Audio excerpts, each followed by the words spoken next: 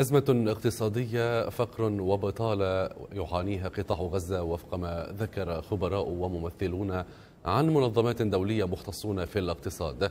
وضع وضع اقتصادي دفع بالكثيرين إلى التساؤل عن الأسباب ومن يتحمل مسؤولية ذلك.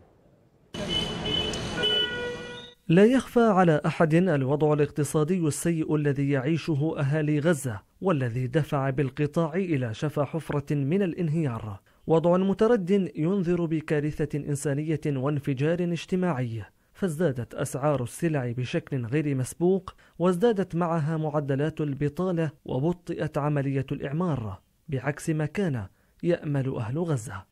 وضع اقتصادي دفع بالكثيرين إلى التساؤل عن الأسباب ومن يتحمل مسؤولية ذلك. في السنة الماضية ارتفعت معدلات البطالة لتبلغ 43% في الربع الثالث من السنة. وتجاوز عدد العاطلين عن العمل ما يزيد على 218 ألف شخص بحسب ما ذكر مركز الإحصاء الفلسطيني في شهر كانون الثاني يناير الماضي. وتعد معدلات البطالة في القطاع هي الأولى عالميا وفق البنك الدولي. عندك طلاب بطالة بما فيه الكفاية يعني 80% من الشعب بطالة.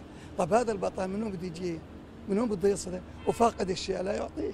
طبيعي هذا فاقد الشيء لا يعطيه. فأنت طالما بتعيش على المعونات ما فيش إنتاج داخلي ما فيش جهد منتج فأنت إما أن يمن عليك وإما إيه ما يعطيكاش إيه والله وضع غزة حاليا من أسوأ لأسوأ. يعني الظروف آه، صعبة جدا الماديات ضعيفة عند الجميع الشغل برضه ما فيش شغل. يعني إحنا صرنا نتخرج ونشتغل ما في نشتغل بشهادتنا. يعني صار الواحد يشتغل يخلص شهادة كويسة ويشتغل سواق على الخط ولا يشتغل بياع في محل.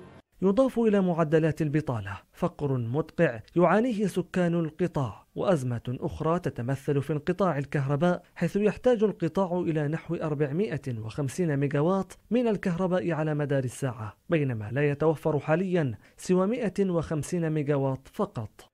إيش أوصف لك وأنت قاعد وصفت كل الوضع أنا نفسك؟ إيش أوصف لك؟ ما أنت شايف على أرض الواقع كل شيء قدامك إيش أوصف لك؟ عالم عايشه في بؤساء يعني تسمعش كلمة بؤساء؟ وأهل غزة اليوم في وضع البؤساء. أول حاجة أول حاجة أي شعب أو أي عالم بيعيش في الظلمة في الشهر الفضيل. في امتحانات في وضع شهر فضيل شهر عبادة بشوفش الكهرباء. بالنسبة للوضع يعني الوضع يعني مش سيء اسوء من السيء. شايف كيف؟ وضع الناس يعني تعبان جدا جدا جدا.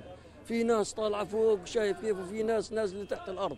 شايف كيف الوضع يعني تبعهم تحت مئة ألف صفر فالناس مش قادرة تتحمل يعني اللي عندي اللي أنا بكفي. فللأمانة يعني لازم يشوفوا لنا حل. حرام عليهم يعني خطيتنا في رقابهم هذول اللي ماسكيننا. شايف كيف وحاكميننا شايف كيف ومش راضيين يخلوا الناس تتنفس.